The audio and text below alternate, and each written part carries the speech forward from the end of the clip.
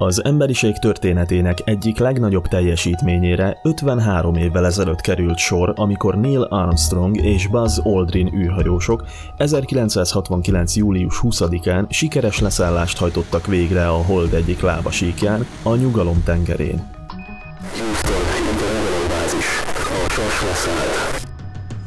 Hat órával később kinyitották a Holdkomp ajtaját, és elsőként Neil Armstrong léphetett a Hold felszínére. Ekkor hangzott el a méltán híres mondása. Kislépés egy embernek, de hatalmas ugrás az emberiségnek. Miután a társa Buzz Aldrin is a felszínre lépett, a két űrhajós két és fél órás holdsétát tett az égitest felszínén, miközben méréseket végeztek és talajmintákat gyűjtöttek. A televíziós közvetítésnek hála ezt a történelmi pillanatot több mint 650 millióan követték élőben szerte a világon.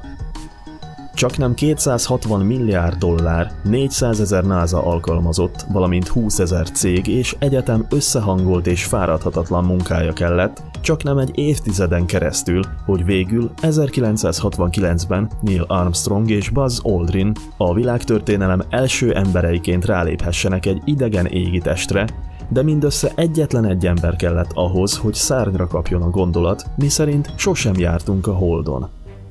Ezt az embert Bill Casingnek hívják, és valószínűleg még sosem hallottál róla. Mielőtt rátérnénk Casing szerepére, előbb röviden nézzük meg, miért kellett egyáltalán leszállni a Holdon. A második világháború után a világpolitikai helyzet nem sokat javult, és a nagyhatalmak lázas vetélkedésbe kezdtek egymással, ráadásul javában dúlt a vietnámi háború is.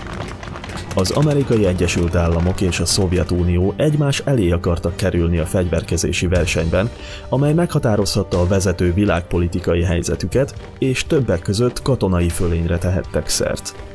Mindkét nagyhatalom egymás fölé licitált, és a dolog odáig fajult, hogy hamarosan már a világűrt célozták, és mindkét nagyhatalom elsőként akart embert juttatni az alacsony föld körüli pályára. Amikor John F. Kennedy elnök 1961. januárjában hivatalba lépett, az emberes űrküldetések előkészítése már javában zajlott. A Szovjetunió folyamatos lépéselőnyben volt az USA-val szemben. Ők lőtték fel az első űrszondát, a Sputnik 1-et, az első élőlényt, Lajka kutyát, és ők nyerték meg az első emberes űrversenyt is, amikor Yuri Gagarin mindössze pár héttel az amerikaiak előtt szállt rakétára és kerülte meg a Földet. Az USA tehát minden létező módon vesztésre állt, és ezt a közvélemény sem nézte jó szemmel. Közvetlenül Gagarin repülése után Kennedy elnök tudni akarta, mit tehet az Egyesült Államok az űrben, hogy átvegye a vezetést a szovjetekkel szemben. Így született meg az a gondolat, hogy az USA kőkemény erőfeszítéssel képes lehet arra, hogy űrhajósokkal együtt megkerüljék a holdat, vagy akár le is szállhatnak rajta. Mivel egyik nemzetnek sem volt elég erős rakétája egy ilyen küldetéshez, minden korábbinál nagyobb munkálatok kezdődtek, és Kennedy elnök 1961. május 25-én bejelentette, hogy az évtized végéig embert fognak küldeni a Holdra. Ekkor az egy amerikai által az űrben töltött összes idő alig volt 15 perc.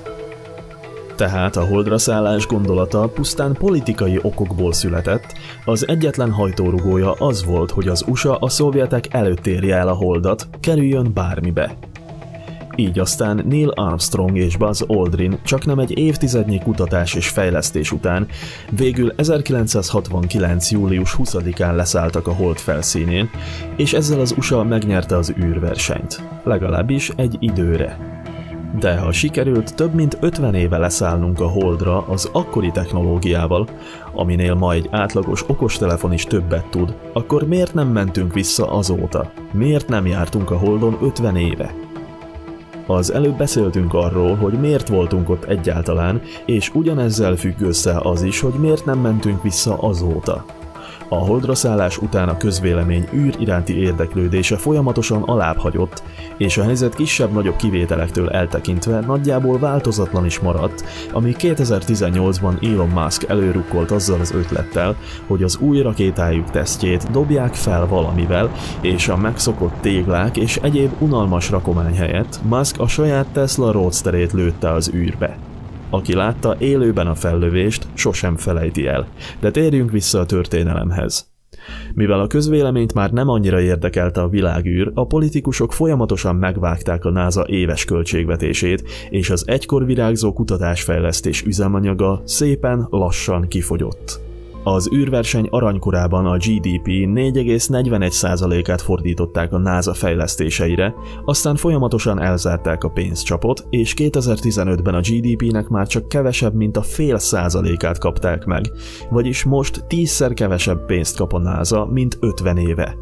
Később a figyelmet és az erőforrásokat az űrsikló programra, majd a nemzetközi űrállomás fejlesztésére fordították. Ez nem azt jelenti, hogy nem is mehettünk volna vissza a Holdra, csak azt, hogy nem volt hozzá motivációnk.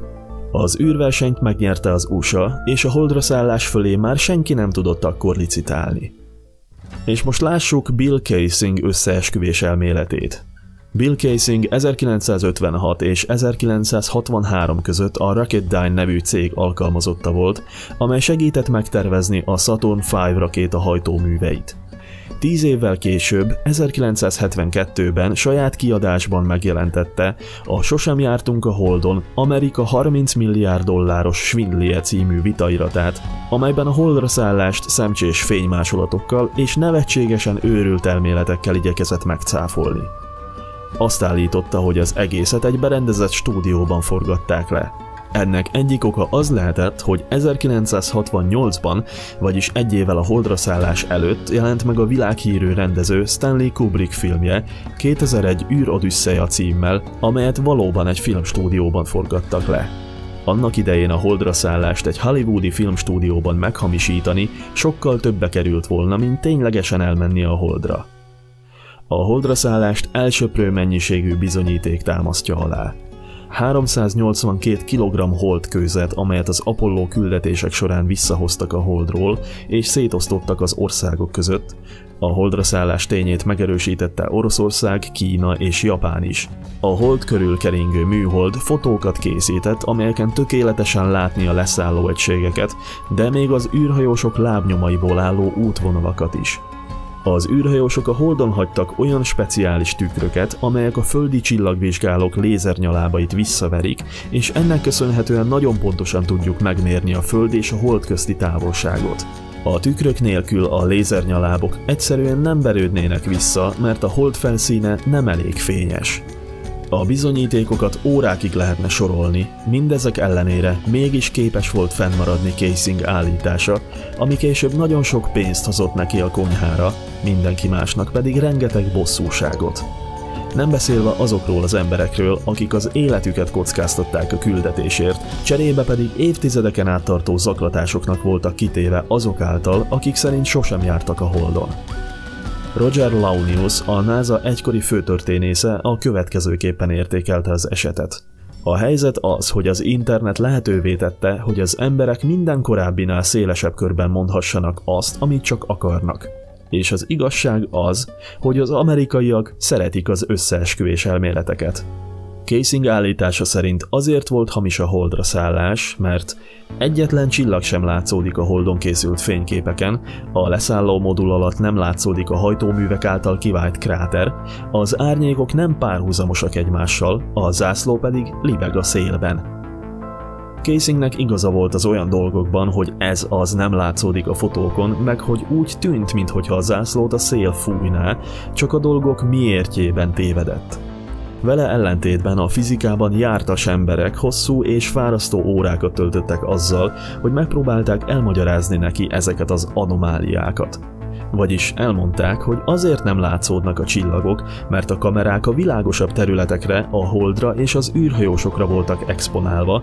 Elmondták, hogyan működnek a hajtóművek vákumban, hogy az árnyékok a földön is ugyanígy viselkednek, amikor a nap alacsonyan van a horizont fölött, és hogy a zászló azért van meggyűrődve, mert napokat töltött szorosan összecsomagolt állapotban. Sajnálatos módon Casinget cseppet sem érdekelte a fizika működése, ezért makacsul lesöpörte a magyarázatokat az asztaláról. Védhetetlen álláspontját egészen 2005-ben bekövetkezett haláláig tartotta, és ez idő alatt milliók csatlakoztak a mozgalomhoz. Voltak, akik a nagyobb eladási számokért, voltak, akik egyszerű gúnyt tűztek belőle, és voltak, akik komolyan is gondolták. Hogy csak párat említsünk, a gondolat, hogy a holdra szállás sosem történt meg, megjelenik például a GTA Vice City nevű számítógépes játékban, a James Bond Gyémántok az örökké valóságnak című filmben, de Joe Rogan is nyíltan holdra szállás tagadók közé tartozott, sok millió követőjével a háta mögött, egészen addig, amíg tanulni nem kezdett az eseményekről, és rájött, hogy téved. Szerencsére azért a holdra szállás meghamisításának a gondolata más módon is felkerült a mozivászonra. Christopher Nolan 2014-es Csillagok között című filmjében egy tanár tájékoztatja Matthew McConaughey karakterét, Coopert, hogy a holdra szállást csak megrendezték. Ez egy nagyon fontos jelenet a filmben, mert a történet szerint a bolygót szárazság és penész sújtja. Hogy az emberek túléljenek, minden erőforrásukat a mezőgazdaságra kell fordítaniuk, nem pedig az űrkutatásra. A holdra szállás hamisításának állítása arra szolgált, hogy eltántorítsa a diákokat az űrutazástól, és inkább a mezőgazdaságra összpontosítsanak. A holdra szállás egyik ikonikus képét előszeretettel mutogatják a történelem tagadók. A képen Buzz Aldrint látjuk, ahogy a hold komplétrájáról éppen leugrik a hold felszínére. Az árnyékok állásából ítélve a nap a holdkomp túloldalán van, vagyis Aldrinra rá kellene vetülni a holdkomp árnyékának, ennek ellenére Aldrin mégsem olyan sötét, mint a holdkomp többi része. Hogyan lehetséges ez? Nagyon egyszerű. A képet Neil Armstrong készítette, akinek pont olyan fehér szkafandere volt, mint Aldrinnak. A fehér szkafanderről pedig nagyon jól visszaverődik a fény vagyis Aldrint maga Armstrong világította meg a szkafanderéről visszaverődő fénysugarakkal. Ezt már azóta számítógépes szimulációval is bizonyították. Egy dologra mindenképpen ki kell térnünk, mégpedig arra, hogy van, ami érthető és elfogadható a tagadók álláspontjában. Az, hogy minden holdon készült kép és videó furcsának tűnik. Ezt nagyon jól látják, valóban furcsa, de nem véletlenül. Azért furcsa, mert a holdnak nincs légköre, vagyis valójában van, de nagyon-nagyon vékony és ritka gázokból áll, nem úgy, mint a Földnek. A fény beleütközik a Föld légkörét alkotó gázokba, ezért tűnik kéknek az ég napközben, vagy narancssárgának naplementekor. Az űrben és a holdon viszont nincs ilyen légkör, ezért a színek is fakóbbnak, valótlannak tűnnek. Egyszerűen nem vagyunk hozzászokva, hogy olyan körülmények között készült képeket és videókat nézzünk, ahol a fénynek nem kell keresztül hatolni a föld légkörén, ezért ezeket a képeket az agyunk automatikusan valótlannak látja. Ráadásul a Holdon csak a földi gravitáció egy hatoda van jelen, vagyis minden mozgás viccesen szürreálisnak tűnik, mert a biológiai felépítésünk nem ilyen gyenge gravitációhoz szokva fejlődött ki. És most térjünk rá a videóra. A rövid ismeretterjesztő videókban pont az a jó, ami a rossz is, hogy rövidek. Éppen ezért nem kerülhet bele minden egyes információ egy 8-10 perces videóba, de most beszélek azokról a dolgokról, amelyek a témához kapcsolódnak, de nem fontosak a lényegi rész megértése szempontjából. Első állítás. Nem lehet mindenkit átköltöztetni a Holdra vagy a Marsra. Nem is ez a cél. A cél az, hogy egy esedékes globális természeti katasztrófa esetén, amelyet nem tudunk sem megakadályozni, sem elkerülni, ne pusztuljon ki az emberiség és az általunk ismert élet. Mivel az univerzumban egyetlen egy helyről tudunk csak, ahol élet van, ez a Föld, ha ezt a helyet valamilyen katasztrófa éri, könnyen kipusztulhat a rajta lévő élet. Ha ezt nem szeretnénk, akkor az élet egy részét át kell vinnünk máshova is, hogy ne csak egy helyen legyen, ez azt jelenti, hogy néhány embert, állatot, növényt, gombát és baktériumot kell átmenekítenünk, nem mindet. Egyrészt nem megoldható, másrészt mi értelme lenne mindenkit átvinnünk egy másik helyre, hogy aztán az összes élet ugyanúgy egy rakáson legyen, egyetlen egy égitesten. Ha azzal az égitesttel adódik probléma, akkor ugyanúgy kihalhat az élet. Éppen ezért kell legalább két helyen lennie egyszerre, mert így az élet idő előtti kihalásának az esélye közel nullára csökken. Második állítás. Azért kár átmennünk egy másik bolygóra, hogy azt is tönkre tegyük. Inkább a Földet kéne megmenteni, nem teleszemetelni a Marsot meg a Holdat is. Attól, hogy átmentjük az életet egy másik égitestre, még nem hagyjuk magára a Földet. Vannak cégek és szervezetek, amelyek a földi problémákat igyekeznek megoldani, és vannak olyanok, akik a jövő problémáin dolgoznak. A két dolog nem egymás helyett van, hanem egymással párhuzamosan történik. Emellett szükségük is van egymásra. A tönkretenni szó elég erős túlzás, ha a világűrben keringő hatalmas szikladarabokról beszélünk. Mert a kőzetbolygók valójában csak ilyen-olyan porszemcsékből álltak össze a gravitáció hatására egy nagy golyóvá. Nincs ott semmi, amit tönkre lehetne tenni, ha csak valaki nem a poros sziklák és a kráterek miatt aggódik. Természetesen ez nem azt jelenti, hogy bárkinek jogában áll szemetelni akár a Holdon, akár a Marson, akár itt a Földön. De miért ne használhatnánk ki a lehetőséget, hogy új világokat kutassunk, hogy felfedezzük a körülöttünk lévő gigászi világűrt és tanuljunk? Persze rengeteget kell tanulnunk, és jobbnak kell lennünk az elődeinknél, miközben elhagyjuk a saját magunkra és a környezetünkre is káros szokásainkat, de akkor is mennünk kell. Nem szó szerint nekünk, hanem a fajunknak és a többi életnek. Ha valakinek ez nem felel meg, akár el is üldögélhetünk itt, és megvárhatjuk, amíg a nap elégeti a még kb. 5 milliárd évre elegendő üzemanyagát, és velünk együtt elpusztítja a naprendszert, amit létrehozott. Mert ez lesz a vége. Akár itt vagyunk még, akár nem. Harmadik állítás. Ez is csak a pénzről szól. Sajnos ez ennél jóval bonyolultabb. A ritka földfémek például kulcsfontosságúak az elektronikai ipar számára, de ezek leggyakoribb lelőhelyei Kínában vannak. A világkereskedelem 97%-át a kínai termelés adja. Néhány évvel ezelőtt kis ilyen nemzetközi kereskedelmi háború bontakozott ki, amikor a kínai termelők hirtelen drasztikusan megemelték ezeknek az alapvető nyersanyagoknak az árát, a világ pedig rádöbbent, hogy Kína szinte monopól helyzetet élvez ezen a területen. Ha a kommunista Kína úgy dönt, hogy csillagászati áron adja ezentúl ezeket a nyersanyagokat, akkor a világgazdaság összeomlik. Komoly háborús helyzet alakulhat ki, amelybe a világ nagy része könnyen belerokkanhat. A háború kirobbanásáig ugyanez volt a helyzet Európa és Oroszország között, csak épp az olajjal és a földgázzal. Nem támaszkodhat a világ egyetlen országra. Alternatívák kellenek, amelyek működnek. A földi készletek előbb-utóbb kimerülnek, ezért új területek után kell néznünk, és a legközelebbi ilyen terület a Hold. Negyedik állítás. A napelemek nem jók, atomreaktor kell a Holdra. Ahogy a videóban is elhangzott, a telepesek első feladata az lesz, hogy napelemeket telepítenek a Holdon, és ezzel elegendő energiát termelnek a kommunikációs eszközök és az ideiglenes holdbázis működtetéséhez. A Holdon a napelemek több energiát termelnek, mint a Földön. Egyrészt azért, mert űrbéli használatra lettek tervezve, másrészt pedig azért, mert a Holdon szinte nincs atmoszféra, amiben fennakadhatnának a napsugarai nem úgy, mint a Földön, ahol a beérkező napenergia jelentős része, körülbelül 55-60%-a a légkörön áthaladva elveszik. A terjeszkedéssel a napelemek valószínűleg nem tudják majd ellátni az egész bázist, ezért valamilyen más alternatív energiaforrással kell megtermelniük a szükséges energiát, például lekicsinyített nukleáris reaktorral, vagy ha elkészül, akkor fúziós reaktorral. Az első küldetéseken szinte biztosan nem adnak majd helyet nukleáris reaktoroknak, viszont a napelemeknek igen, vagyis idővel a kettő kombinációja lesz a járható út.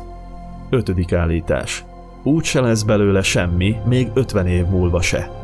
Ha így állunk hozzá, akkor biztosan nem. Az ehhez hasonló tervek túlmutatnak egy ember életének idején, de akár generációkén is és csak abban bízhatunk, hogy a lehető legtöbb ember érez magában hajlandóságot a jövő építése iránt, akkor is, ha ő maga már nem tapasztalhatja meg.